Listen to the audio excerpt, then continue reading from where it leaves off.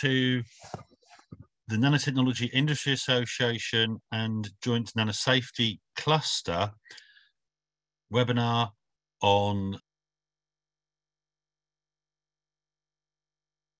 to the joint NIA Nano in Business and EU Nanosafety Cluster webinar on communicating about nanomaterials. Uh, I would ask that everyone please keeps their mic keep their microphone muted. Uh, we will tell people when they can unmute for Q&A. And I'd also suggest that if people keep their cameras off, uh, we will we will ask the speakers to put their cameras on when they're actually speaking.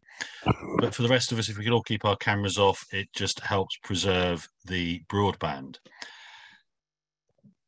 Just to start the webinar, I'd like to tell you just a few couple of seconds about the Nanotechnology Industries Association. So we're here to support the nanotechnology sector by providing a good, robust regulatory framework, helping with business scientific networking, and helping to build the global commercial ecosystem for nanotechnology. Our members come from commercial producers and users of nanomaterials, from people that provide products and services to support that sector, and also from research and other national associations.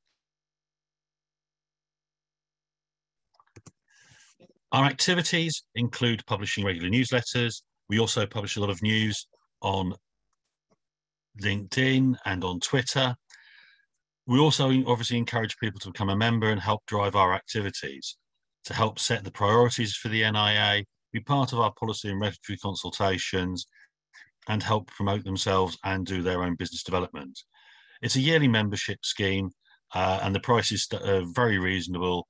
But if there's any questions, either ask myself or ask Chiara. Also joining us supporting the webinar today is the EU Nanosafety Cluster. Many people in the room will indeed be aware of the EU Nanosafety Cluster and the good work it does, but essentially it's the high profile platform to help coordinate all of the nanosafety research in Europe. It provides good strategic direction for the EU and for the member states, and the cluster is open to all researchers, regulators, industry, civil society representatives to come and join, learn more about the nanosafety cluster work that's going on, and also participate in the activities. And I've put the website link here for people to get more information. For the webinar today, uh, we're starting off with a brief introduction and scene setting from the NIA's Director General Chiara. We then will move on to Hannah from the Science Media Centre, who's going to be looking at how you communicate science. We then move on to an industry perspective from Tracy, from Cerion. And then we'll move into Marie Valentine and Rob presenting on the NANORIGO blueprint. And finally, Mikko will talk about some of the current trends around public communication of nanotechnologies.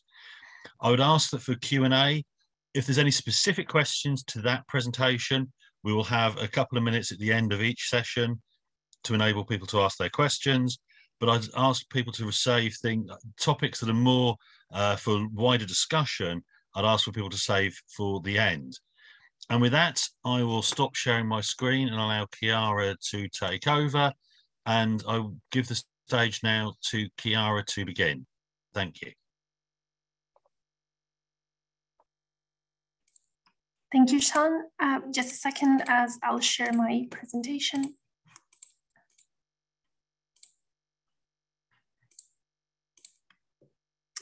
And voila. And if you could just confirm that you can see my screen, that would be perfect. Perfect. Yeah, okay, thank you very much. Okay, so uh, welcome again for me as well. And uh, the purpose of this very brief uh, presentation, which has just disappeared from my screen. Apologies for that.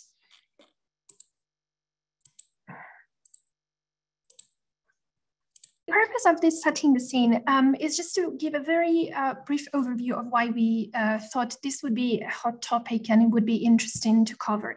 As anyone who has worked in science and technology knows, um, communicating the results of research or explaining how some new technological solution works can be a bit difficult when doing that to the general public, and sometimes things get lost in translation. So an example that we saw last year was uh, with a paper that was uh, released uh, on uh, looking at how nanoparticles of gold were transferred in an aquatic food chain. Um, I know some colleagues from one of the universities that took part in the research are on the call today, but I trust they will not be offended if I say this is probably not something that the general public would add to our bedtime reading. It's um, it was um, a normal scientific paper uh, that didn't find anything particularly shocking in its results. However, this is how it was reported in uh, mainstream media. So the, you, you, can see the contrast is quite stark. The original research just looked at one type of nanomaterials. It looked at gold and how it is transferred in an aquatic food chain. So um, algae were exposed to equal amounts of that uh, gold uh, which came in nanoparticles of different sizes and shapes. The hypothesis being tested being precisely the fact that the differences in the size and shape would influence how much of the gold uh, would then travel further up in the food chain. And this was indeed what was found.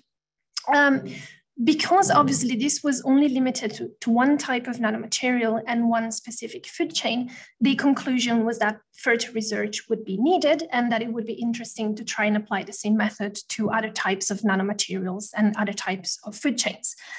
Um, the the, media report, however, did not mention gold. It just extrapolated the results as if they were valid for all nanomaterials in general.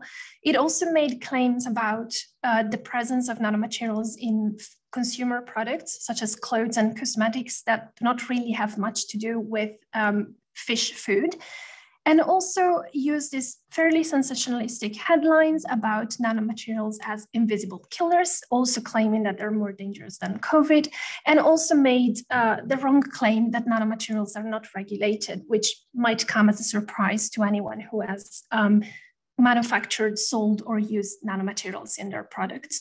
So why does this happen?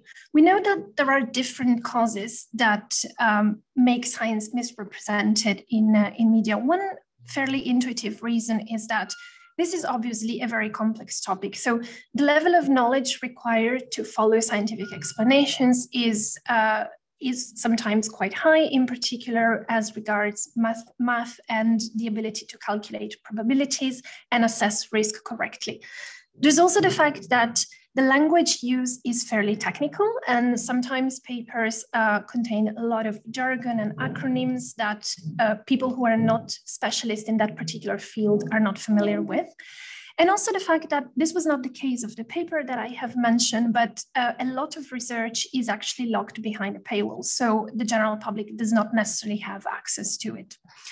There is also the fact that as human beings, we're not very good at dealing with uncertainty. We don't like uncertainty, but the scientific process by its very nature is a continuous work in progress. So uh, the fact that sometimes further research is needed and that there is always one more study that could be carried out does not sit well with the fact that we want definitive answers. And then in some fields, there is obviously also some disagreement between scientists. So it might be difficult for the general public to follow scientific discussions when the scientific community itself does not speak with one voice. If you think, for instance, on uh, food research and all the debate about the links between different food components such as fat, sugar, salt, and their role in cardiovascular disease or obesity, the scientific community itself is fairly divided on the weight of those different factors. And finally, there is the fact that data, unfortunately, does not always speak for itself because we all uh, process and retain information based on our value system and on the beliefs, the pre existing beliefs that we already hold. When science is used to inform policy discussions and decisions, There is also the fact that those decisions are usually taken um, in the context of discussion where different groups with sometimes conflicting interests come together. And finally, um, there is the fact that not just science journalism, but journalism in general has seen its business model change fairly dramatically over the last couple of decades. Um, a change that has been accelerated by the digital revolution, and which means that now it is prevalently dependent on advertising, which in turn creates pressure to uh, create sensationalistic headlines and uh, controversial claims to engage and maintain readership. Now, this is by no means uh, anything new. Uh, you probably have all uh, in mind the more recent examples of the concerns about 5G uh, or about uh, cell phones when they first came on the market and their potential health impacts. But it goes back further than that. So uh, when the electric light bulb was first introduced, uh, there were so many concerns about how it could affect people that hotels um, around the United States started informing their customers that the uh, use of electric lighting could not influence their quality of sleep.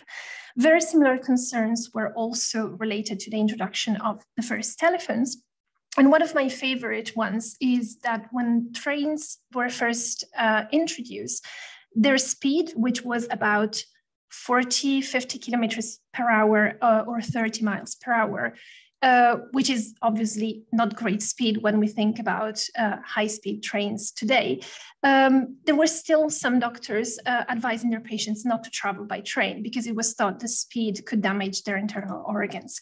And it, it might be tempting to look back and think, well, this was a bit silly. Obviously, we didn't know um, about how the technology worked. But the fact is, um, if these concerns had not been overcome, uh, if these unfounded concerns had not been overcome, we would maybe live in a world with no electricity, no telecommunications, no trains. And uh, a world without nanomaterials means that we would actually miss out on a number of very interesting uh, applications that uh, would, would not only uh, be important for economic growth, but can also give a great contribution to the transition to a sustainable economy.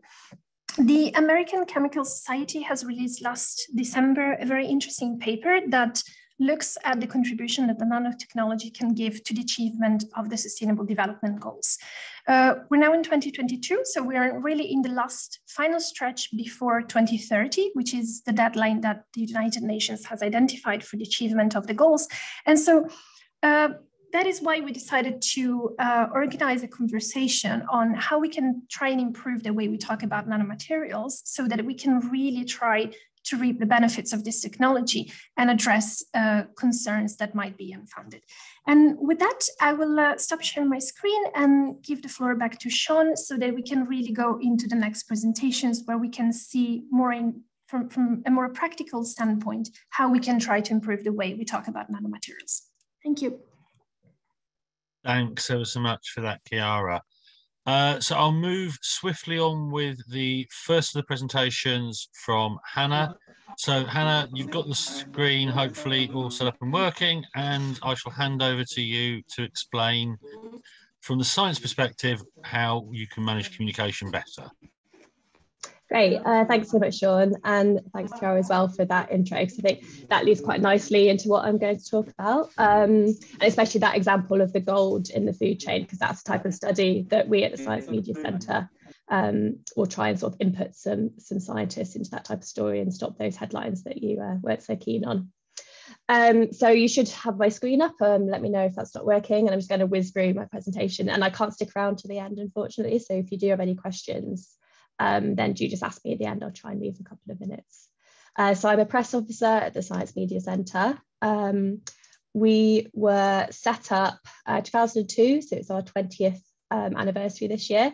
And this is a period of time where things were going very wrong with science and the media. So this was MMR and autism with the Andrew Wakefield paper, uh, GM crops, BSE and mad cow disease, uh, the sort of fury around animal research, and what all these very different science topics had in common was that they were being quite misreported in the media. There was a lot of commentators, a lot of politicians, a lot of public, but very few scientists making their case for why um, those the science is important to, to, take into account here. So a House of Lords uh, Science and Technology Committee um, was set up to look into what went wrong and the Science Media Centre was set up on their recommendation. So, um, sorry, this, this just blocked my there we go. Um, so we're an independent press office for science. We run as a charity. Uh, we're funded by about 120 different science organisations, including universities, journals, uh, research charities, industry, but we maintain complete independence from each of our funders. And we're in the very lucky position that we don't need to worry about getting our name into the media. All we care about is ensuring that scientists' voices are heard on the messy, controversial, scary topics um, to better inform the public. So our philosophy is uh, the media will do science better when scientists do the media better. So what we really focus on is getting scientists to engage with the media rather than sort of telling journalists off when they write a bad article, because that just won't do anything really. Um, so just a couple of key things here about why we really think it's important for scientists to engage. So the obvious one being public understanding. You are the experts here. If your area of expertise appears in the media, it's really important that the public get to hear from you. Um, and the media is the best way to do that. Uh, most people get their sort of science information from mainstream media. So if you get a quote or an interview in one of the tabloids, one of the broadsheets, um, then you'll reach loads more people than say a tweet out to your Twitter followers who are probably already quite engaged in the topic. Um, and then the, the last thing is trust as well. So uh, public trust in scientists is really high, way higher than politicians, way higher than many other um, types of people. And so the public are quite likely to listen to what you say if you're quoting the media and to trust what you say. And that could really influence um, uh, influence behaviour and influence policy um, based upon evidence. Uh, so what do you need for media work? Um, you need honesty, you, you need to admit uncertainty, you need to say what we don't know as well as what we do know. Um, you need to change your position as the evidence changes. You need to be a scientist fundamentally and be honest about what you know. Uh, you need to be willing to engage. Um, you need to act fast. Sometimes the media is a lot, lot, lot quicker than the science world. Um, and often journalists will be wanting something that day, that hour. So being available when that happens is really important. And don't leave a void because, as I said before, other other sort of um, campaigners, politicians, what whatnot will want to get their voices out there. So if you don't do it, someone else will, and they might be not the best expert. Uh, repeating the same message. This is yeah quite common if uh, you're approached by journalists on things, they'll quite often ask the same question and you have to repeat the same things. And resilience, um, not giving up if you if you do see articles that you're not so happy with, but just yeah, sticking at it and keep repeating the evidence and the science because that does usually come out in the long run. Uh, so the way that the SMC works, um, our sort of day-to-day -day work, um, is expert comments and media briefings. So I'll go through both of those, and hopefully this will be useful in sort of seeing how um, you can enter the media yourselves and just a couple of examples of how you can add uh, some science and evidence to the discussion. Uh, so expert comments, um, I'll go through and give a bit of example. Basically, we constantly monitor the news for, for any breaking stories that have a science element, and we also get access to uh, press releases on new studies from journals and universities. Uh, and the example that I'll show you is, is one of these new studies. Um, but and then when we when we decide that we want to get some comments on one of these stories or studies, we'll send out a request to the scientists on our database. We've got a big database of about 2,000, 3,000 experts across the UK. Um, and we'll go to the relevant sort of keyword for their expertise and ask them to either respond to the breaking news story, to sort of um, speculate intelligently about what might be going on, um, or to give some sort of specific comments on the new study to help journalists um, understand what's going on and put them in context and highlight any uh, caveats and limitations. So the example that I want to show you is one from a couple of years ago. Um, and this is looking at a study um, looking at air pollution and Alzheimer's and potential nano material involved. So this was the press release, this came out from PNAS. Um, so this is all the journalists got this little bit of information on the paper. Uh, we thought, you know, this is quite a, a scary story. We'll ask uh, our experts in this area if they could take a look and send out some comments to us for us to pass on to journalists to help them understand what's going on here. So we had a really a really large um, response from from the scientists that we approached. We got comments from all of these experts, and this is just to give you a really short example of um, a few of the comments that we got. Um, I'm a bit short on time, so I probably won't let you read all the way through them. Um, but key things to see is that they're pointing out what we don't know, which is really, really important to highlight. Um, you know, just making sure that the journalists are aware of uh, how much we can really say from this research and what we can't conclude, highlighting the limitations, talk about the lack of controls, uh, just really adding a note of caution not to get too carried away with this, this single study. Um, and another two here as well.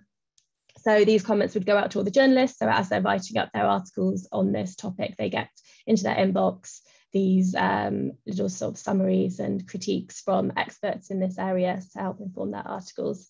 And then, uh, as you can see, this was front page on The Guardian, and they did also include some of our comments. So um, although the, the headline there is, is um, it's correlational rather than causational, it's, it's fairly strong, but you've got quite a large comment in there just pointing out that we need we need further studies to really understand what's going on here. Uh, and similarly in the Times, um, plenty of our comments used in there and in the Mail as well. Um, and so, yes, that's just an example of what comments can do. And this can be a really nice way to get involved um, in media work because you can take time over them, you can run them past uh, your press officer um, to get help with them. And yeah, just gives you a little bit of control about what's going out there. Uh, so media briefings are another um, one of our things that we do to help scientists get their voices into the media. Uh, this is when, in the old days before COVID, we'd get scientists to come into our office and the journalists as well, um, and they'd listen to a presentation for 20 minutes and then ask questions. And the most common thing that we do this on is a new study, and it's particularly controversial, messy, political, uh, sort of challenging, complex that we think the journalists are going to be really, really interested in. Um, and the, the scientists would just benefit from kind of having an hour to go through it in depth and explain complicated science in detail with all the nuances and caveats. Uh, so yeah, it's normally done on a, on a new study, but sometimes we do it on a background topic if that's coming up in the media a lot as well. And we think that it might benefit the journalists to have a sort of restatement of the evidence. Um, so I just want to give a quick example. This was from coming on two years ago now. Um, and this is just a really nice example of kind of being open about your science and research and uh, heading off sort of potential areas of, of misinterpretation or criticism. So this was the Oxford vaccine, vaccine team just giving an update and we worked with them throughout their whole um, sort of time working on the vaccine as well and would regularly give updates and they're just a real sort of lovely example of being really open about what they were doing and um, yeah, talking the talking the journalists through what they were doing at every stage and just answering questions really um, transparently. Absolutely huge attendance of journalists. Um, and this is them all, all on Zoom. I'm not sure what's going on in the bottom left there. Uh, and then this is the coverage. So yeah, there was there was no new news here. There was no results. This was just a sort of update on what they were doing. Um, but yeah, led to really, really nice, clear coverage. So this is just an example of how kind of being open about what you're doing um, is really is really important for the public understanding of science. Um, so I just I kind of just shot for everything there, but uh, happy to take any questions and you can um, see more about what we do on our website, sciencemediacentre.org. And we're always on the lookout for really good scientists to join our database to, to help with these comments um, on new studies and breaking news. So if you're interested at all in that, then you can email us at smc at sciencemediacentre.org. And I'll stop sharing my screen and happy to take any questions if there are any. Hannah, thank you ever so much for that very interesting presentation with some uh, really good and sort of clear examples. Uh, just quickly before I open up the the floor to see if anyone else has any questions, just a quick one. Obviously, I know you're the UK Science Media Centre. It was more just to see are there other examples around the world of similar organisations that you can sort of mention? Yeah, so so we were the first one, 2002, but since then there is a there's a German um, SMC, and they're really active and they're really really good, um, and they work mostly in Germany, but a little bit across Europe as well. Um, so if you're based in Europe, then they might be good to check out. Uh, and then we do have sister organisations in Australia, in New Zealand. Kind of similar ones in Canada and the US, but they work a little bit differently. Uh, there's one starting up in Kenya, um, Taiwan, so Spain as well. Actually, they're they're starting this year, hopefully. So it's a, it's a sort of model that is growing. Um, so if you don't have one in your country, watch this space because hopefully there might be one in in the coming years because it does seem to be quite popular. Excellent, thanks, Hannah. So I'd say if anyone has any questions, uh, if you just want to raise your hand quickly, and then we can come to you to ask uh, if you have any questions for Hannah.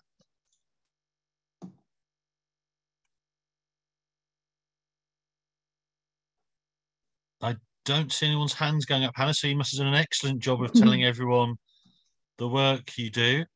Uh, so I think unless anyone has a question, not then I suggest thank you, Hannah, ever so much. I, I, personally thought that was really interesting, and I love the sort of example from COVID as well, which really brings it home uh, how important it is to make sure the communication is obviously clear, because obviously uh, the COVID vaccine and public confidence is something that's very easy to uh, lose and probably harder to gain back. So on that note, uh, thank you so much, Hannah. I shall we shall move on to the next speaker. So we move to Tracy from Cerion, who's going to tell us a little bit more from a, more of an industry perspective. So Tracy, uh, the floor is yours. All right, thank you, Sean. Let me share my screen.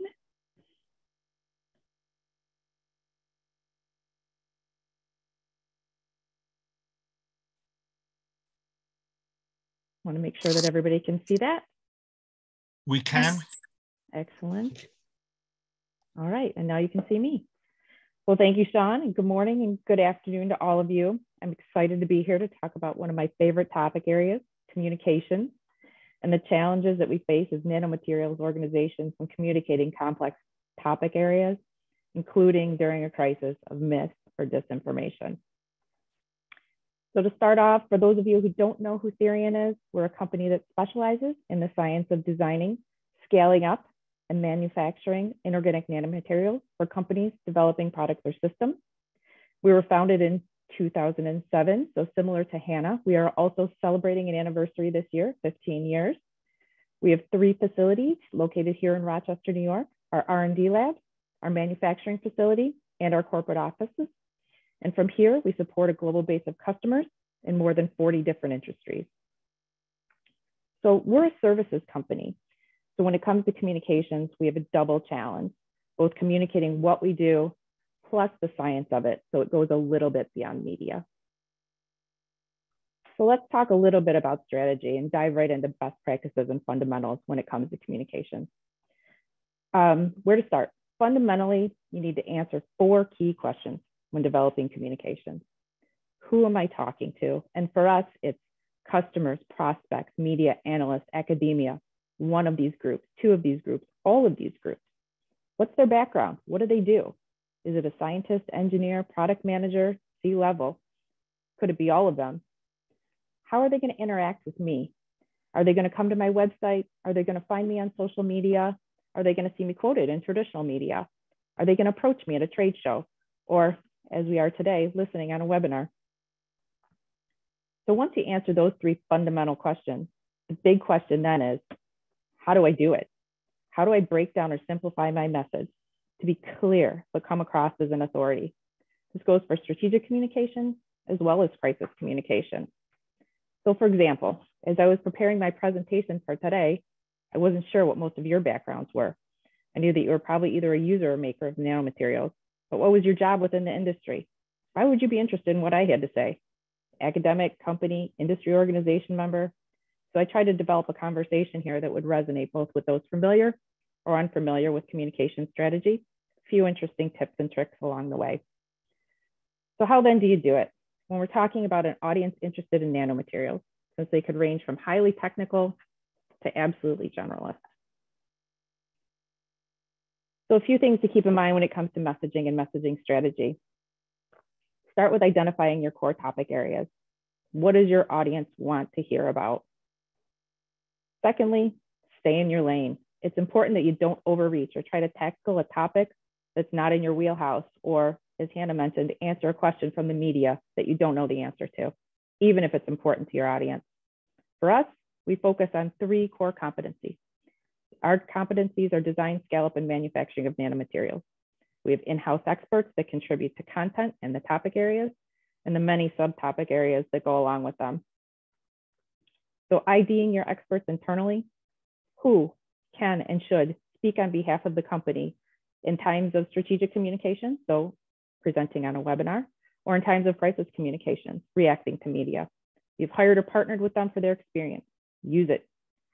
Once you've identified the what and the who, you can begin to develop some content. So as a practical example of this, we as a company identified synthesis methods as an important topic area to our key audience. It's in our wheelhouse. We have experts on staff that can contribute to a piece of content about it. We subsequently published an article and on our website and on social media. And we developed several videos and articles as well on our website um, that are more strategic in nature for our less technical audience. So we have pieces that address our technical audience and our less technical audience on topics such as commercialization and global trends as it relates to nanomaterials specifically. So let's talk about how to develop that content, some key considerations and best practices that we use. Content development at its core is extremely difficult. If any of you have ever done it or had to write a paper or an article or a blog or have been asked to contribute to an article, you've identified the key areas that are interesting to your audience or a key topic that is timely and relevant. So where do you go from here? You're likely dealing again with a highly diverse audience, technical, non-technical, a number of job titles or industries.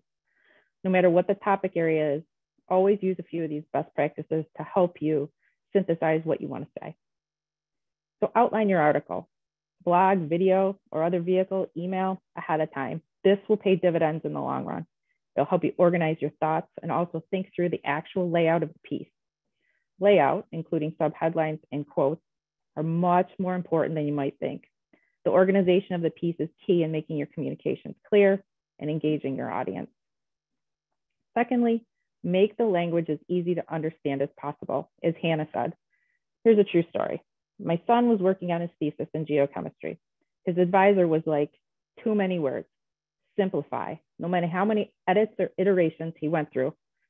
The research was solid. It was just the language he was using that made it difficult to read and understand. Take out the unnecessary or duplicative language. Once you've made a strong point that's clear, just move on. So third, again, give examples. Use examples as a way to illustrate your point. Quotes from industry experts also go a long way to reinforce ideas, concepts, or create added credibility for your topic. Imagery. Sometimes the topics that we talk about when it comes to nanomaterials or science in general are much better illustrated with images, charts, graphs, anything but words. Use this tool not only to help reinforce your point, but draw the reader in, keep their attention. And first and foremost, I think Hannah mentioned this as well, we're all human. Your words are the link between the technology and the people who use it. Choose and use your words wisely to both make your point and make a connection with your audience. So now you've got your content. How do you get people to read it? What do you do with your content? For us as a company, we need to make sure that our content is used in a way that entices our audience to engage with us wherever they are in their buying or development journey. That means ensuring we're available wherever they're searching for information. So how do you know where they are? Um, this could involve some research on your end up front in answering the where are they question. This will help you identify which delivery methods you should use for your content so you can build credibility and and thought of as you're continuing to build your authority with your key audiences. Consistency with messaging is critical across all of your engagement tactics. So your website, your social media, traditional media, radiate that message appropriately based on the delivery vehicle. Keep it simple, keep it regular. Consistency in communications is key. Secondarily, industry organizations like the NIA are a blessing for all of us understanding what like companies and individuals are experiencing and having a format for discussion and learning.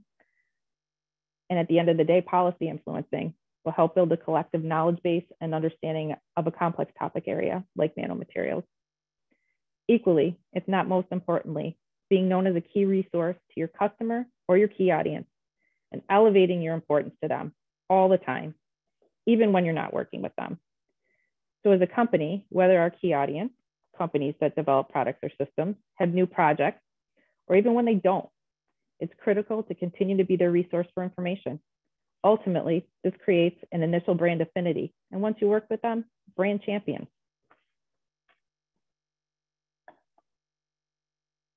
So thinking ahead, this is really important. You've got messaging, you've got a strategy, and you got some content as a starting point. Thinking long-term and also planning for the unexpected is essential to your communication strategy. You've got to continually ask yourself, what's next? This is never a one and done situation. Continue to be educated on current affairs, topics that impact the industry, new technologies, processes, or application areas so that you can consistently develop relevant content and conversations for your audience. That's step one from a long-term strategy perspective. You also need to think about what happens if, or ultimately when, as Hannah and Chiara both pointed out, there is a paper published or a press release that creates a negative perception of the industry, a particular material, or even your business or your specialty area. We all know this is bound to happen. So prepare for it. You've identified your area of expertise. You have your experts in-house. Make sure you can activate them if and when it's time. I also absolutely recommend baking in media training to your long-term strategy for any and all of your team members. This is something we've actually done, and I can tell you it's an enormous help and very well received, particularly from our scientists. They're not experts in communications. It gets them comfortable and gets the entire team on the same page as far as consistent and clear messaging on behalf of the organization. So identifying an organizational spokesperson or subject matter expert for certain topic areas that can help craft your response in a crisis. One person and one person only should be the company spokesperson when it comes to responding to media to ensure the consistency again and that clear message. Reach out to your industry organization to gauge their response, get ahead of the swirl, and get everyone on the same page. Again, having this opportunity to connect with others in your industry, particularly in a time of crisis, is critical. Reaching out to key stakeholders, both internally and externally, making sure your internal team members, as well as your vendors, partners, and customers, especially in times of dis or misinformation, are armed with accurate and consistent information and updates. We all know we've seen it. It has happened a lot with COVID 19 and the mis and disinformation, as well as just internally policy, politics, and making sure everyone is on the same page when it comes to combating this virus. Additionally, proactive media outreach if necessary. So I think Hannah mentioned, you know, there are a lot of media that often, you know, take hold of one topic area or one headline and propagate that mis or disinformation because they really don't know the whole story. Reach out to them, address it directly, you know, use resources like Hannah to do that. So measuring success. At the end of the day, how do you know your message is getting across? How do you know you're making an impact? How do you know you're being clear? How are you influencing as a thought leader as you'd hope to? Measuring success for us as a business is critical. We're constantly looking at data points to shift and adjust our communication strategy to ensure we're hitting several key milestones. First and foremost, building and maintaining our credibility in the industry, establishing new and deepening relationships with customers, partners, etc and expanding our reach and developing new advocates based on thought leadership. So consistently expanding the audience of folks that we're talking to, folks that are hearing our message, and folks that we're engaging with, whether that's in person or via online opportunities. And finally, again, anticipating and mitigating negative industry perception. So have a plan. Okay, that's all I've got for today. Thank you again for inviting me.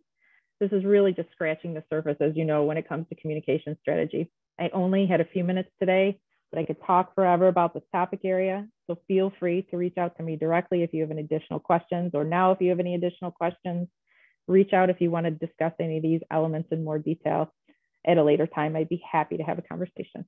Thank you.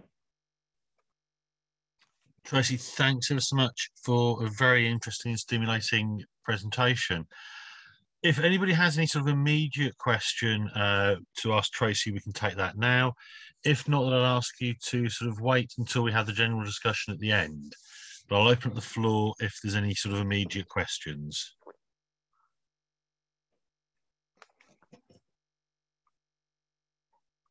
No, okay, in which case it only leaves me to say, Tracy, thanks ever so much.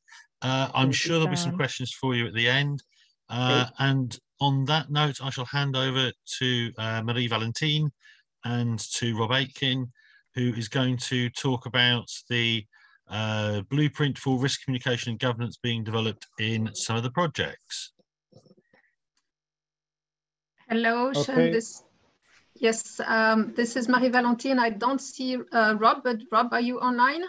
Yes. I'm online. I'm here, Marie Valentine. Yeah, Okay. Hello, everyone. Would you share your screen, or shall I sh sh share it for you? Uh, yeah. I'll, I'll do it. I'll do it. okay. Thank you.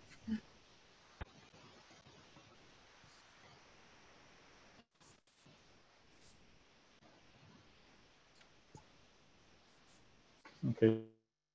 Just for give me a moment while we.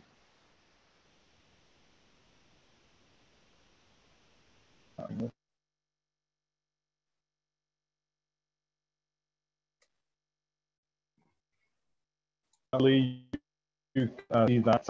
Um, so uh, thanks everyone for uh, for joining this. Thanks to NIA uh, for organising and creating the opportunity, and also uh, the EMA uh, for uh, organising this particular session. Rob, Aitken, uh, until Rob, just to- I was chief executive of IOM. Rob- uh, Rob, just to pause you there, you're really breaking up badly. So as I said, I'm, I'm Robbie, Robbie, and I, I- was until recently chief executive of, of IOM based in Edinburgh. Um, this is a, a build as an interactive session, but um, Marie Valentine and- and myself uh, uh, thought we'd uh, introduce this with uh, a few slides, really uh, introduce subject of where now calling the narrow risk governance house. Um, and uh, what I'm, what this is really found is uh, three projects which were funded by the E-Framework program uh, under a call code NMBP 13. The three projects are NANORIGO, uh, Nano, and Risk. So It was really these three projects, and we were tasked with um, uh, improving risk governance in uh, for nanomaterials in Europe, particularly. The three projects were funded separately, but they were essentially required by the Commission on it common outputs. And, and so we're talking about today the um, risk governance. How this is, is one of these.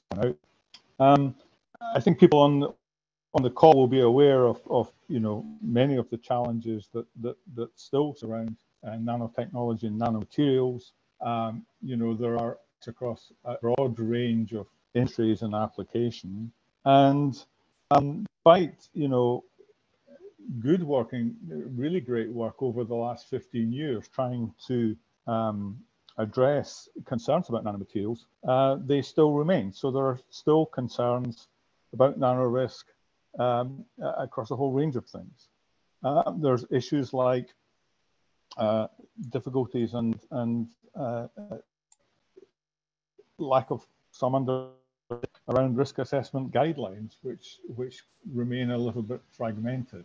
And there's a need to develop appropriate governance structures which are uh, which ensure the trust and, and build the trust of all stakeholders.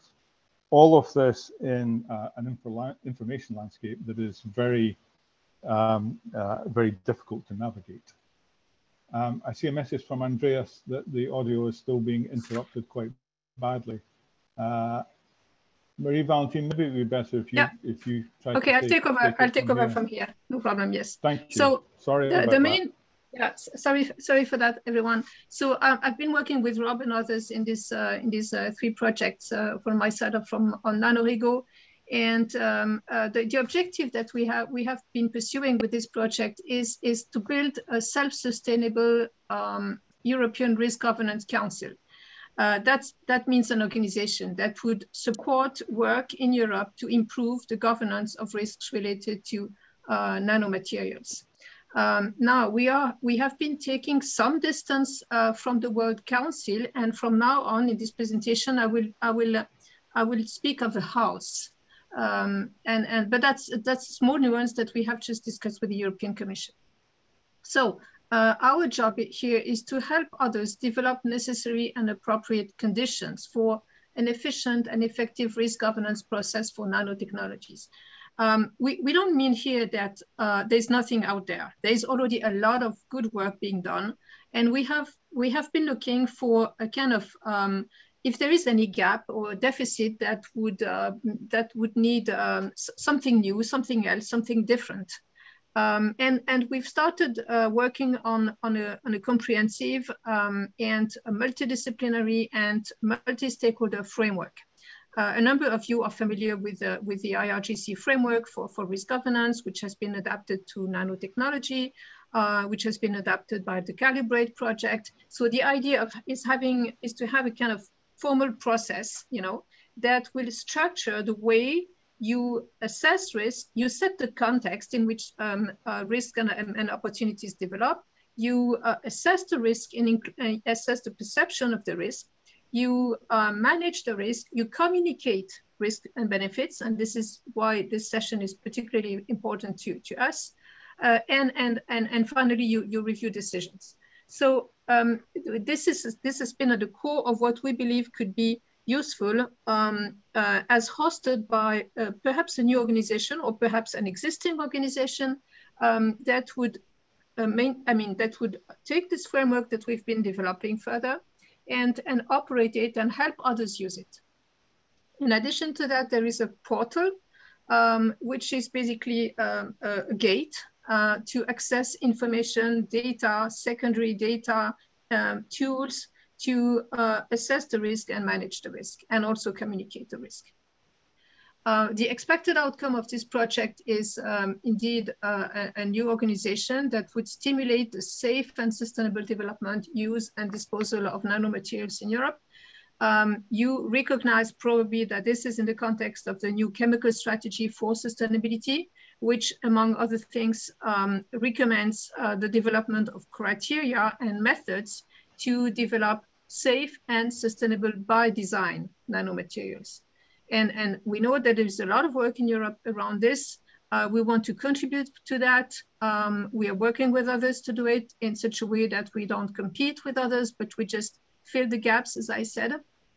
Um, we think that this um, um organization um, could be, I mean, it has to be, in fact, uh, independent, trustworthy, self-sustained, which means um, uh, financially um, uh, viable. Uh, we also think it's important that it helps bridge uh, gaps between knowledge generators and decision makers, basically between science, or scientists and decision makers. We know this is not, um, uh, the, I mean, with, this is a recurring issue in many domains, but in, in the very specifics of, of nanotechnology, it is particularly true. Uh, we work with others and support existing actors, and this will be pro provide activities and promises to all stakeholders. So we have designed this kind of house. And this house uh, has many rooms, if I would say. Um, it has a gate, which is the portal and the framework. And uh, the, these many rooms uh, would, would do things such as, um, and I will go through this um, uh, slide quickly, data management and curation. So looking into the data that are needed to improve the assessment and the management, uh, looking at the tools and the toolbox, uh, which instruments are available, which instruments should be improved to assess and manage uh, risks. Um, governance of sustainability, safety and sustainability by design is also quite uh, an important room in that uh, house.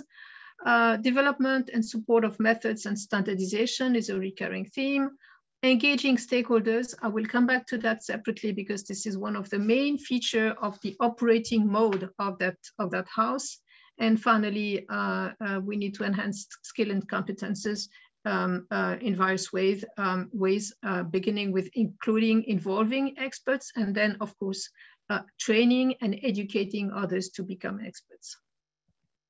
So it could look like this. Uh, we are creating um, a generic problem solving capability, which uh, could add value in specific areas, such as in refining and implementation the chemical strategy for sustainability, safety and uh, safety and sustainability by design, but also the Green Deal, uh, the strategy for circular economy in Europe, and and other um, important um, um, policy decisions.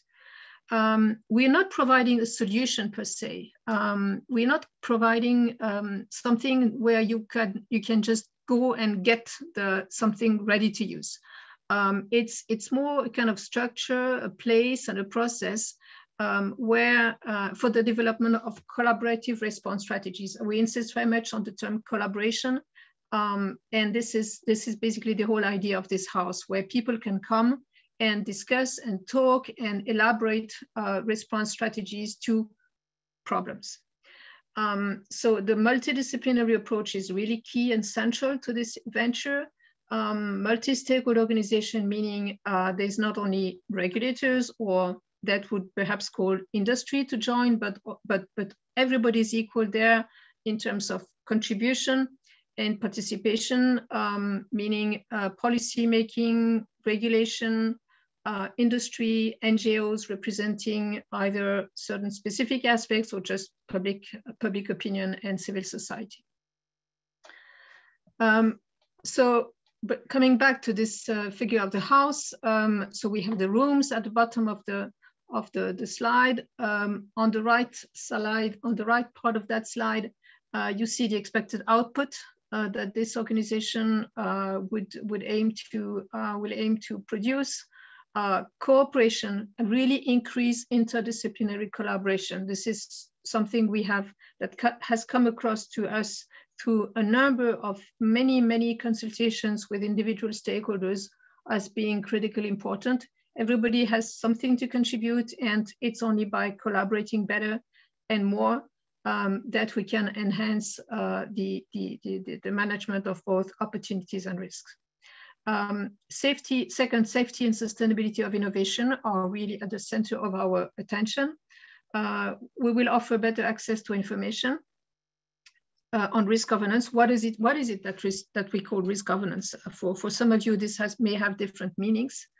Um, uh, the fourth item is support effort to, effort to improve quality and access to information on nanomaterials and their risk benefits. So that's the portal function, you know. And then um, uh, we, I think that it would be important to, to some extent to focus on emerging issues. Emerging issues are issues that are not well understood, not well characterized. There is a lack of instruments to address them. Sometimes the regulatory frameworks are not quite fit for that. So any issues that is not well discussed, covered by other organizations.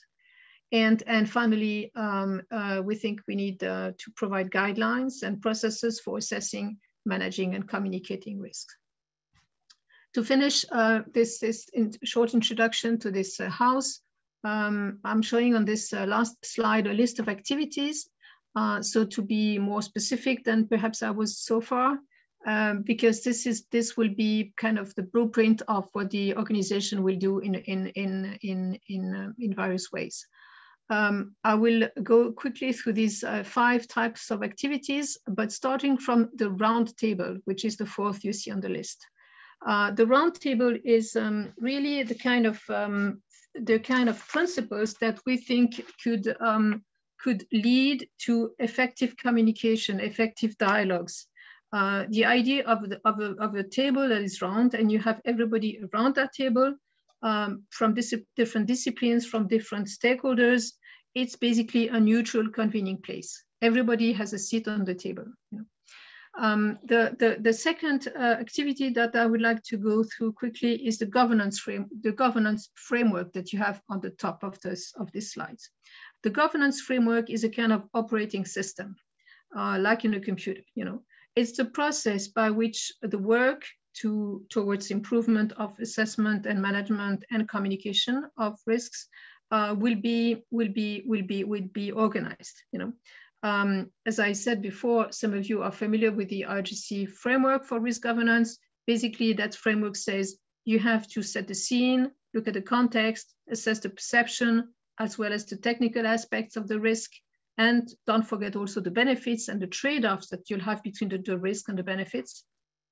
And the trade-offs between various substances or materials, that, uh, that is what we are faced with in the day-to-day -day work. Um, and uh, so that's, that framework is really the operating mode of this, uh, of, the, of the house and, what, and, and its work. Uh, the, the third uh, activity that I would like to um, emphasize as being relevant to this, to this house and today's meeting is the, is the portal.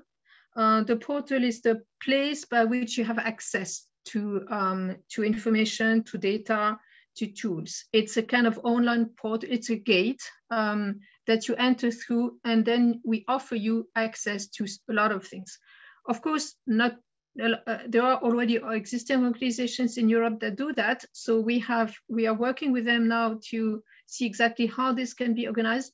But this has been identified in numerous consultations by something that uh, this new uh, this new house organization could do. And the last um, uh, two service activities are um, foresight, uh, foresight on emerging issues um, um, emerging issues um, are issues that are, as I was saying before, not well uh, identified or characterized. Uh, take, for example, if one day someone would say, uh, oh, there is a problem with um, um, wear, I mean, with a wear and tear process from rubber tires on road. Uh, how do we deal with that? You know, who are the stakeholders? Who should we bring to the table? Uh, so this would be an emerging issues in the sense that there is no um, established process to, to deal with this kind of issue, which quite often is seen as rather urgent and can escalate quite quickly. Uh, another emerging issue would be smart nanomaterials um, and basically going, going towards third and even fourth generation of, um, of nano, um, nanomaterials, um, nano-based systems, uh, which uh, fall into the traps uh, of a number of regulatory uh, uh, frameworks at this moment. So it's it's emerging. It's an emerging technology, and um, the, this house could sort of explore how to how to assess and manage the the the the, the, the assess and, and regulate this kind of nanomaterials. And finally, advice is basically the the the cherry on the cake, if I would say, uh, because uh, in the end, uh, this organization must be able to provide either recommendations or advice for consideration by others, so for consideration by industry or regulators. This is not a regulatory institution. This is just a kind of antechamber, uh, if we speak of the house, that to, to prepare uh, decisions by industry, by NGOs, by regulators and others. So I'll, I'll stop here and then I will um, like to pass over to the, DECHEMA and uh, I think Niels um, Bomer, who has prepared a few questions uh, um, uh, for you so that we try to make this session a bit more interactive, if I may. Yeah. Yes, Marie-Valentine, thank you very much uh, also for your talk and also Rob, uh, despite the technical hiccups. I think it was uh, very interesting also for the audience. And we are looking forward now really to a short survey which we collected for you uh, for you as the experts in the audience to help us also to refine, develop further, and to sustain the envisioned structure of the NMBP 13 projects. And I already posted a, a link in the chat, and maybe Marie-Valentine, you can uh, quickly share your screen again with the last slide with the QR code so that uh, everybody is able to, to go to menti.com and enter uh, the code um, and my colleague Nadia will then share the screen, uh, screen quickly in a minute um, that we can go quickly through the questions, which are not uh, or easy. not every uh, question is easy to answer. Thank you, Marie. Yeah, Valentine. And uh, Nadia, maybe you can uh, already share your screen now with the questions. Great. Oh, yeah. And I see uh, some of you already entered some information there. So I guess after two years of remote meetings, you're really experienced how to use Menti and, and other tools. So that's great to see. uh, maybe uh, we just wait uh, a couple of seconds to to get more people involved from the audience because I can see we have uh, 55 people uh, attending.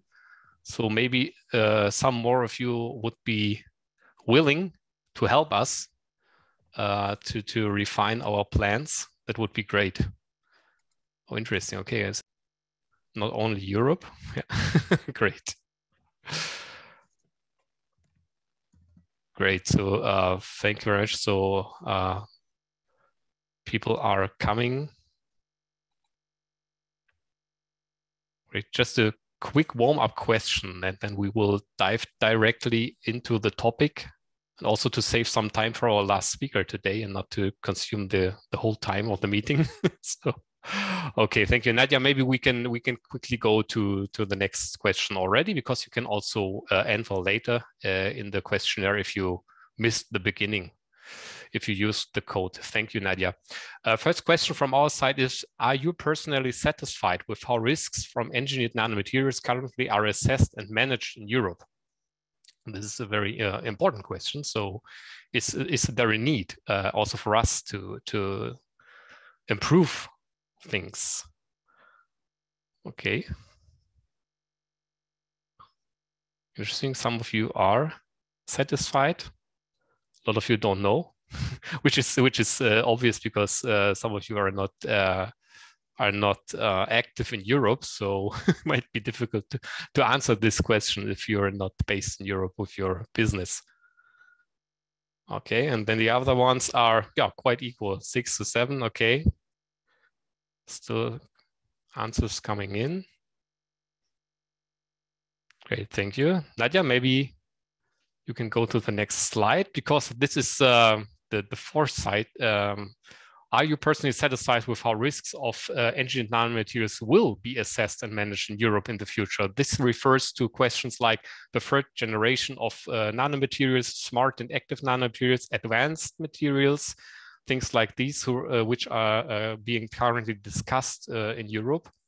And if there is a need um, to improve also the regulation in, this respect and also the communication of uh, about these emerging technologies. Okay, a lot of you you don't know. That's that's fine. That's perfectly fine it's also a very good result because uh, then we we have something to do to improve also the communication uh, about this. Thank you very much. Then we come quickly to the next question. Uh, this is maybe a bit more uh, tricky. So do you think that the development of a problem solving capacity, what was uh, described by Marie-Valentine before, would be necessary or uh, and or beneficial to you, such as our EU Nano Risk Governance House, for example? Or another organization or entity.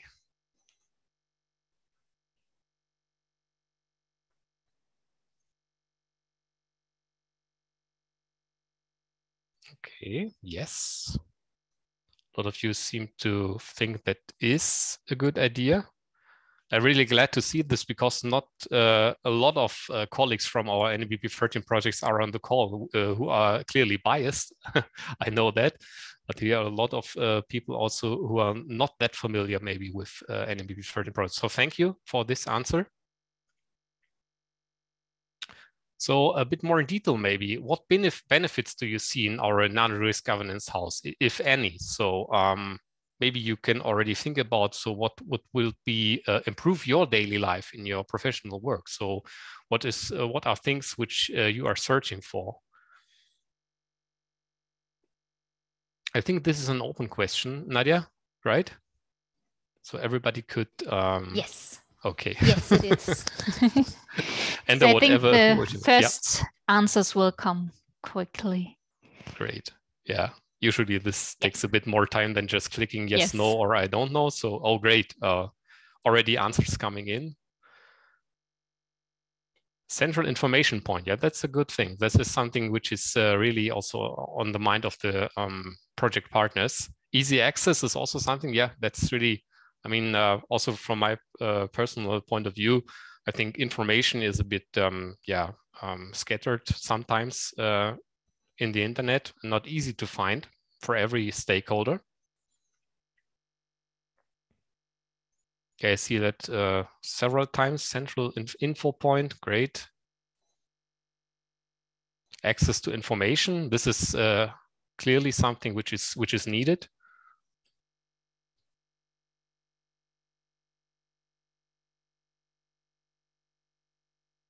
neutral evaluation of assessments. Yeah, that's is also something that uh, builds trust also uh, in every stakeholder.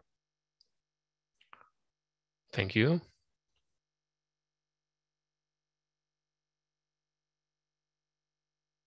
Okay, many, many very, very um, good ideas. Still answers coming in. Thank you very much. Okay. Thank you, Nadia. I think we have now 16 answers, which is really great. Thank you very much. 17. so next question, in your view, who should contribute funding to it? I mean, this is also a tricky question. Uh, we are thinking about if we if we want to ask this question before, but because usually someone says, uh, okay, if it's not me, then it's fine. Um, so uh, will be interesting. What will be your answers? because this is something we we are working now on in the NMBP 13 projects, how to sustain also the organization or um, the structure which we are developing.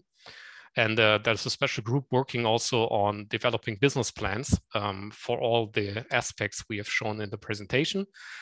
So this is something really, as we are entering now the final year of the project, really something which is very important for us. Uh, so how to tackle this question. Okay a combination. Yeah, combination is uh, at the moment the favorite answer of EU national governments, industry and NGOs. So really multi-stakeholder initiative. Thank you for this. I think Nadia, then we can just go on to the, yeah, great, 26 answers now. Thank you very much.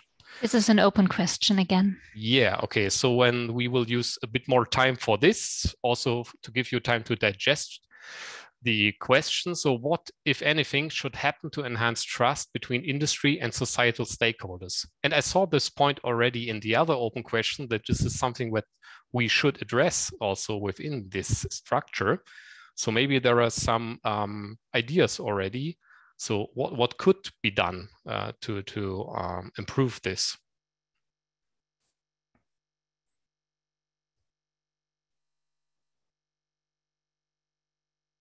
Avoid greenwashing, yeah.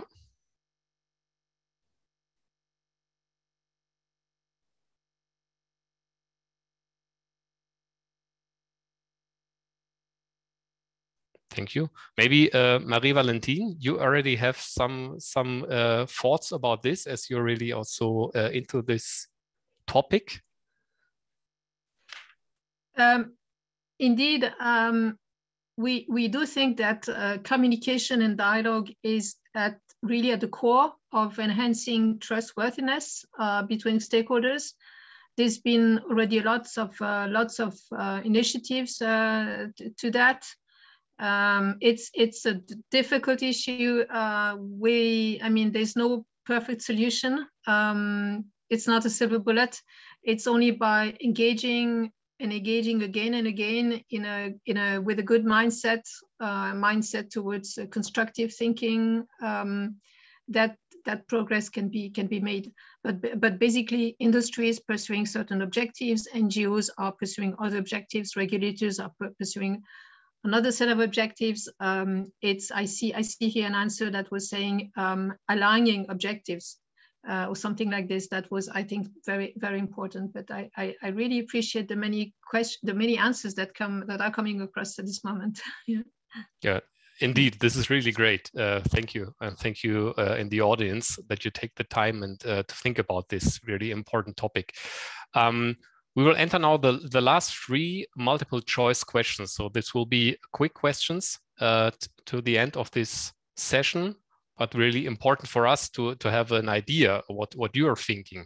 So do you think that a new organization that would be tasked precisely with this role would be useful? And possibilities, yes, there is no suitable organization in Europe. Oh no, other organization can do it properly. I mean, there are actors already uh, who are doing kinds of this work. So maybe. Yeah, and if I may add something, uh, Niels, um, of course. it's extremely important to us to not create competition, to not uh, to to complement what others are doing, and to not uh, overlap and and really create um, anger or resentment uh, from other organizations. We've worked a lot with, uh, we've discussed a lot with EUON, with uh, PARC, the, the new PARC initiative, um, uh, even with REACH, um, with people from European Commission, DG's uh, environment, uh, research and others. Um, this, I mean, if I, if I could add one thing about this so-called organization, which we called in our presentation a house, it could be informal, it could be temporary, it could be very different from the kind of institutions that we are familiar with. Basically, it's it's a project, it's an initiative. You know, it could be um, one of the current institutions that says, um, "I'm launching this initiative," you know, to organize this roundtable roundtable discussion about uh, I don't know smart nanomaterials or rubber ties in in in in um, um, of, uh, I mean, the, the, release of, of nanomaterials by rubber-ties uh, tear process. So it's, we, we have to be very open and flexible here.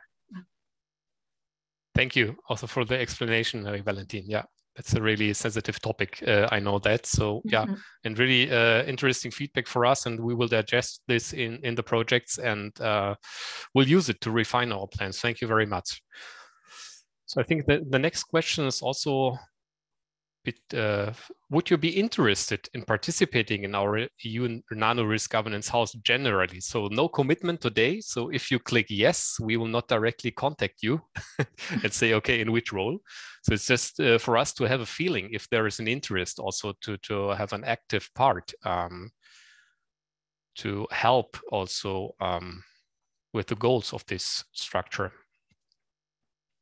because there are many, many uh, rooms which uh, think, uh, we think about at the moment. So uh, all these rooms need people uh, who, who, live in this and, and fill it with, with life. So, okay, a lot of people would say yes at the moment. Great. So this is really, really a good, good uh, feedback. Thank you very much.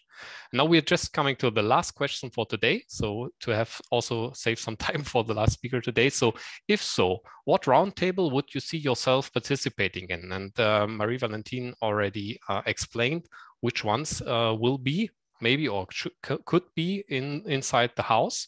So which would be your main interest if you if you would be participating. Yeah, Maria So we are we are fully aware that uh, you may not have enough information to provide um, a relevant answer or a, a fully informed answer to this question. So please just say, as as as as I mean, intuitively, what would you say? Are you more interested in data?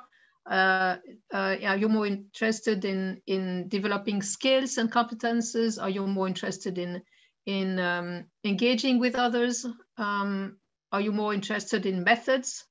Uh, or are you more interested in um, the, the, implementation of the European chemical strategy for sustainability, and in particular, developing criteria and methods for assessing um, and managing safety and sustainability by design? Yeah, great. Thank you very much. And uh, this was our last question for today. So thank you all for the very nice feedback. We will use it uh, internally also uh, for our further planning. And thanks a lot also to Marie Valentine and Rob again for the great presentation and NIA for the possibility to present here for this uh, great audience. Thank you very much. Thank you ever so much, Nils, and everybody else and participating in that we move on uh, rather swiftly now because we are running slightly behind schedule to Mikko, who's going to tell us a little bit about current trends for public communication and nanotechnologies. And then after Mikko, we'll move very swiftly on to Q&A and discussion. So Mikko, the floor is yours. Thanks a lot, Sean. Um, uh, we are also one of the partners in the one of the NMBP 13 projects Gov4 Nano discussed before, and uh, I'm happy to discuss with you some of the work that we have been doing in the project. Um, just to introduce us briefly, I'm from coming from DialogBasis. We are an independent science-based uh, consultancy ba working with stakeholder dialogues and public participation uh, based in Germany, but also on European level.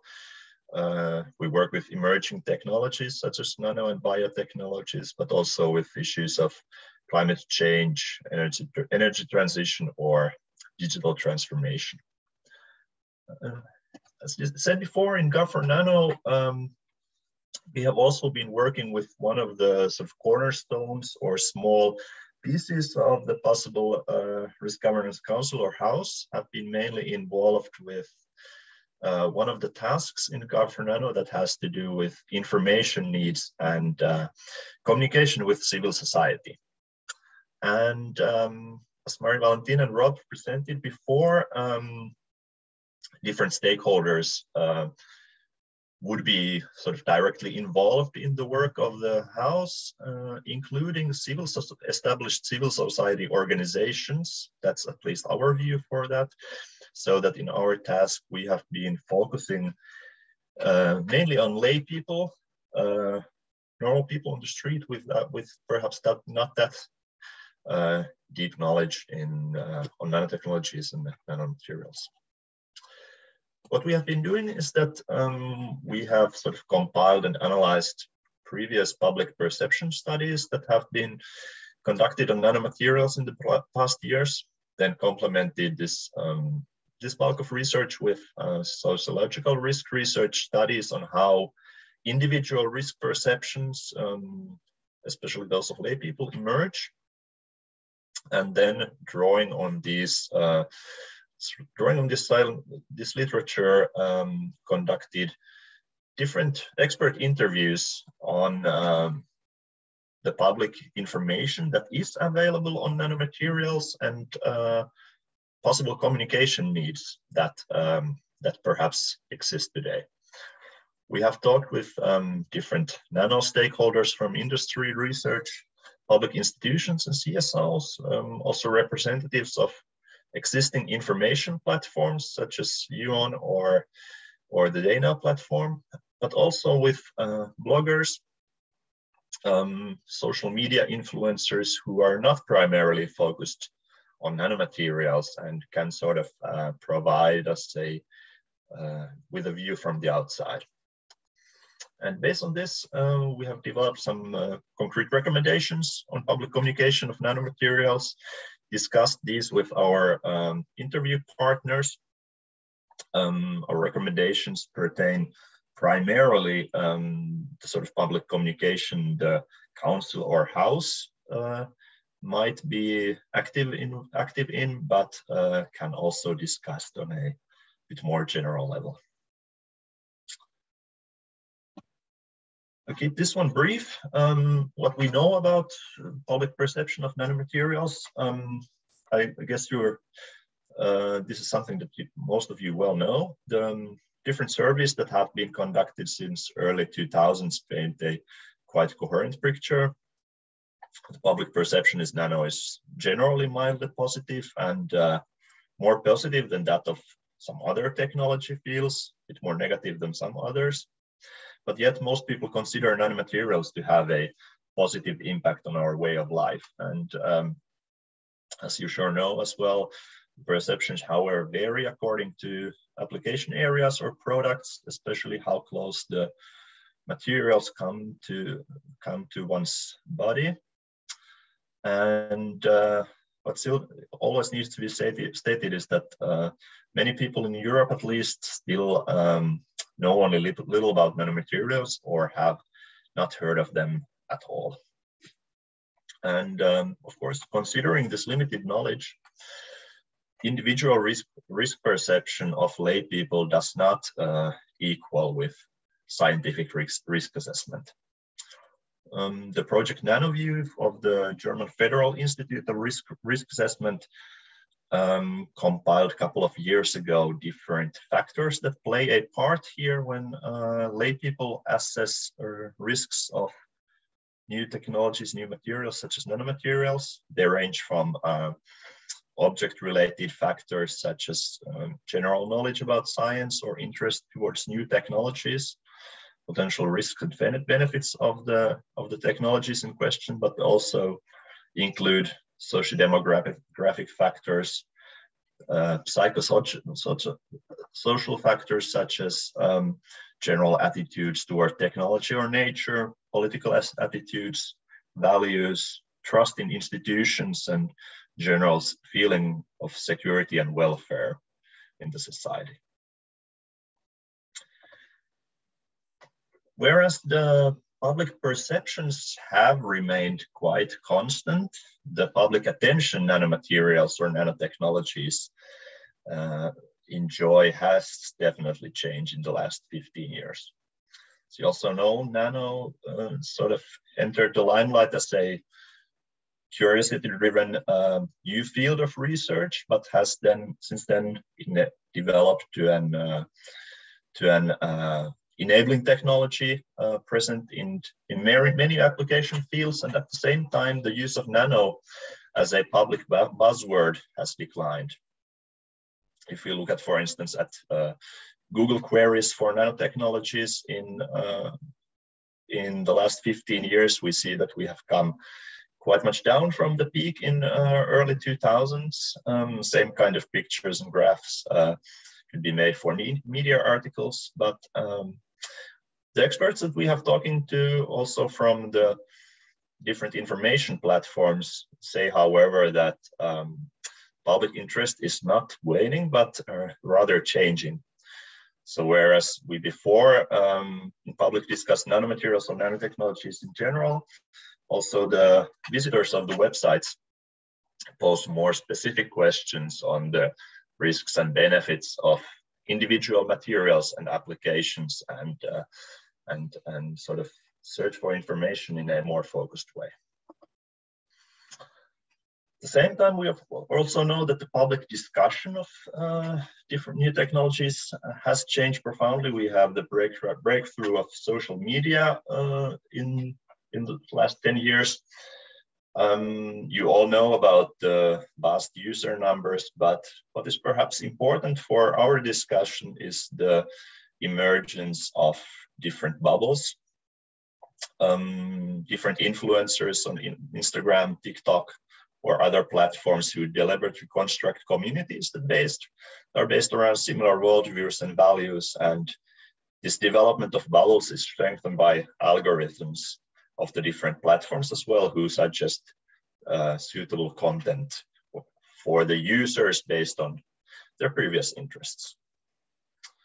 Why this is then important for us is that as a result, we see a bit more unpredictability in the public discussion these different influencers who enjoy a lot larger audiences than public or scientific organizations often do. And more and more often also discuss uh, much broader topics, not just lifestyle, fashion, and gaming, but also politics and technology that uh, especially seen during the pandemic. So that we have a um, situation where topics that were previously left for experts and stakeholders are more and more often uh, discussed by people with very various scientific background, drawing on very diverse sources, knowledge, and worldviews. And uh, what is perhaps even more striking is that the different surveys and barometers that focus on the issue of trust, who the people, uh, who the lay people trust as uh, sources of information when it comes to products, companies, or technologies say that says that um, information that's shared by influencers or peers, persons like me and you, like yourself, is often trusted just as much or even more than information from public or academic or scientific sources. And this is, of course, something that's that's that's a um, specific challenge for us uh, working in the field of uh, science communication.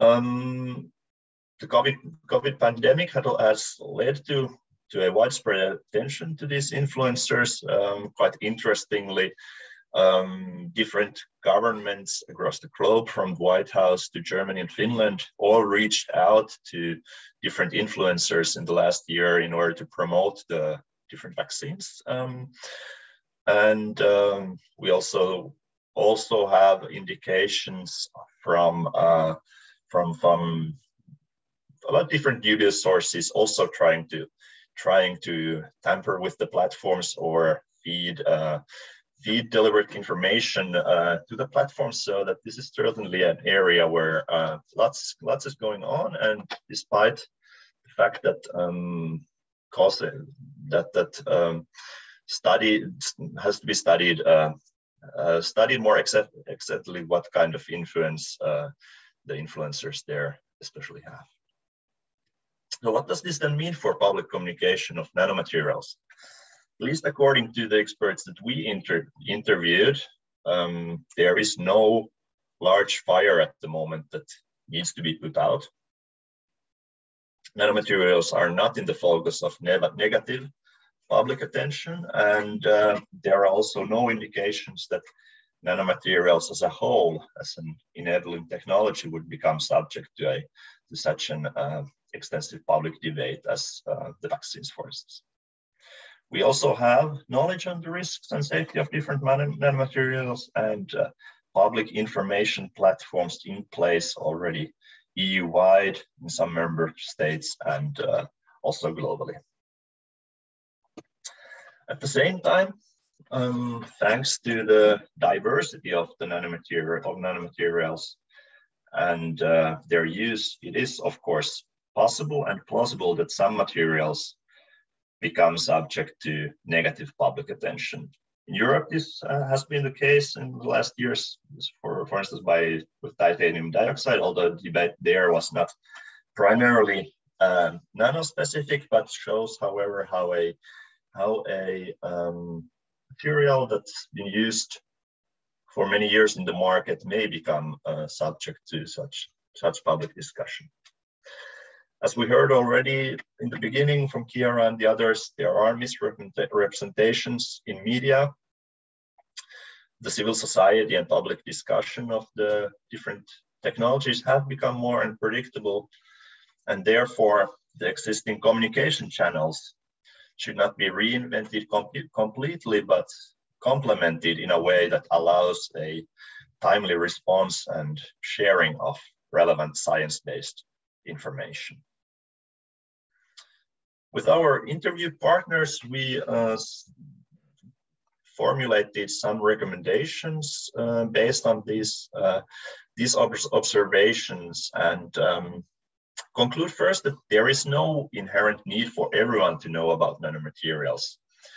If we say that people still know little about them, the first reflex is always to think about large information information campaigns um, to educate educate the masses but uh, at least from our point of view it is enough if uh, the public communication provides the opportunity for those people interested to make scientifically sound, so make uh, make informed informed choice, choices based on scientifically sound information. Considering the fact that um, that different information platforms are there already EU-wide, we do not see the need see the need to duplicate them for instance, uh, within the House or the Council, but to further link to them, uh, strengthen them, and um, support them as, uh, as, as uh, EU-wide platforms. At the same time, we, however, need, see a need to monitor public discussion on individual nanomaterials, emerging topics, misrepresentations, and this includes, of course, not only scientific literature, but also mass, uh, mass and uh, social media as, um, as the other speakers brought forward too. And when required, when these sort of uh, situations occur, uh, we need to prepare for it, as Tracy said, and have these um, have channels in place where we can then communicate in a nuanced, easy to understand way what we know about the different materials, about their risks and safety in the context of their, of their benefits. Considering the fact that um, most discussions or many discussions today take place in the sphere of social, social media and uh, um, different peers, influencers gain. The communication and information should be made as easy to understand, but also easy to share as possible. So uh, in addition to press releases, traditional communications, infographics, fact sheets, short ex explanatory videos that that uh, are easy to share in the different platforms are different, uh, def definitely a way to go forward. As said before, um, governments, but also other actors have made um, special attempts to um, reach out to influencers and, pro and provide them with um, specific information. This is something also that needs to be considered and uh, could perhaps be a way, good or, or be an area where um, such a new governance institution, um, such as the council or the house, uh, could support the community by taking this sort of uh, um, stronger networking function and uh, and and bring really bring the information to the to the people communicating it. And finally, as um, we are dealing with lay people, um, normal consumers, normal people from the street, the information should not only be easy to understand in English, but also be available as in as many languages as possible. And this is something also where um, where uh, European institutions, network institutions could play a uh, central supporting role. That's our work in Gov4Nano in brief. Um, thank you very much for this opportunity to present some of our insights for you and also happy to answer any questions you might have either now or, or um, later per mail or phone. Thanks very much. Excellent. Thank you ever so much, Mikko, for that. Uh, if you could just stop sharing your screen, if that'll be okay, and then we can go on to move on to the question time. Uh, so an opportunity for people in the room, if they want to ask questions uh, of one or more of the speakers or just any raise any points of discussion. Uh, if there's a flood, I suggest people put their hands up. If not, I just uh, suggest if somebody has a question, if you just want to unmute yourself and go ahead and ask, and then we can direct it to the most relevant speaker.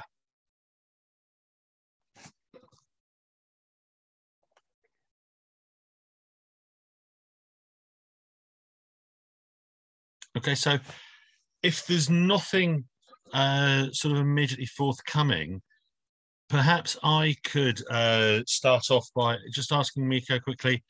So, do you feel that there's been little change then in the sort of way people are thinking about nanomaterials uh, over the last few years?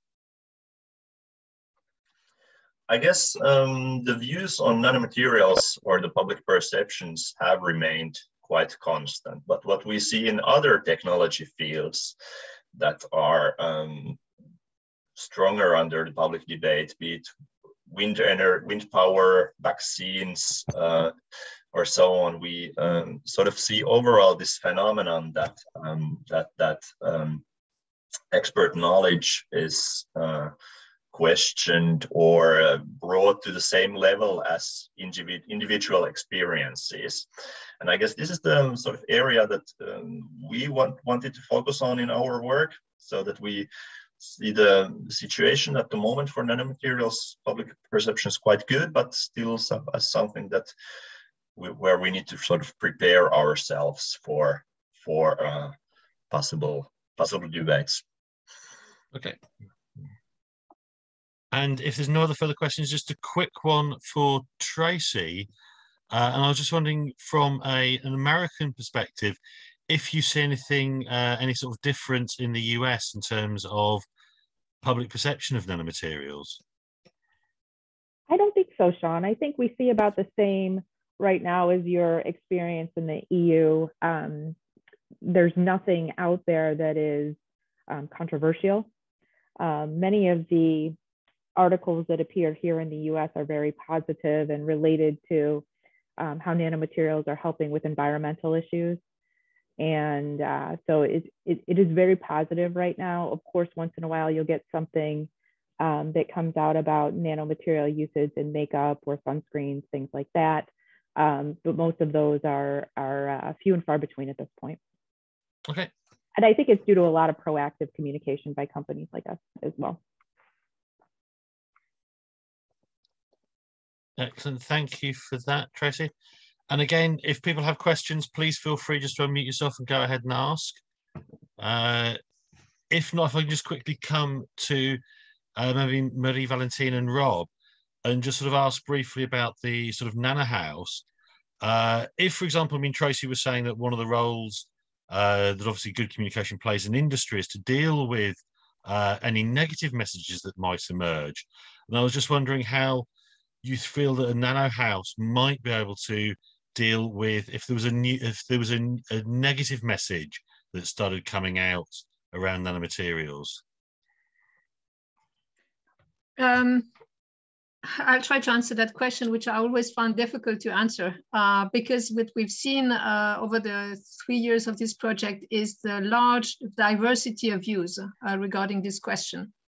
Um, we've seen that um, various stakeholders have very different uh, opinions about what would be needed, helpful, um, uh, starting with whether there is a problem or not. You know, so so so this is this is why we are we are trying to find what I would call the niche, the niche approach. You know, um, and uh, we are not so much in favor of of um, sort of established formal institutions, but more of, uh, if I would even say, although in that respect, please, I'm just speaking for myself. I cannot uh, engage others in that. Uh, this is my personal opinion that it might, it is often more um, uh, effective to start uh, small, um, to say this is a temporary initiative. It will continue only if it succeeds in the next uh, year or two, uh, if, it manage, if it manages to get support uh, both intellectually and financially. And if uh, at the end of its first uh, round of production, people say, hey, this is nice, we like it, and we would like it to continue. Great, thank you. Yeah. So again, if anybody has any further questions, uh, otherwise I've got to keep thinking of them. So maybe uh, for Chiara, uh, it's interesting uh, what you sort of said about how something that was such a, a simple academic article could be so sort of misrepresented. Uh, does that have wider implications in terms of looking broader than just nanomaterials, but thinking about advanced materials as a whole? I think that the answer is probably yes, um, because uh, obviously I picked the example of nanomaterials because of today's topic and, and our activities, obviously, but these misrepresentations are, are quite frequent also in, uh, in other fields. So I, I probably think that this is going to also uh, work for advanced materials as well.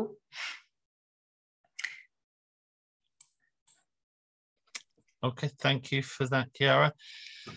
And I don't know if people, if there are any sort of final last questions that people may have, if anybody has anything they want to ask of any of the speakers or any discussion points that they want to raise.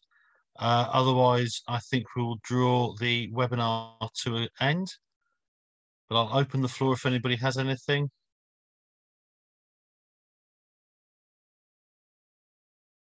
No.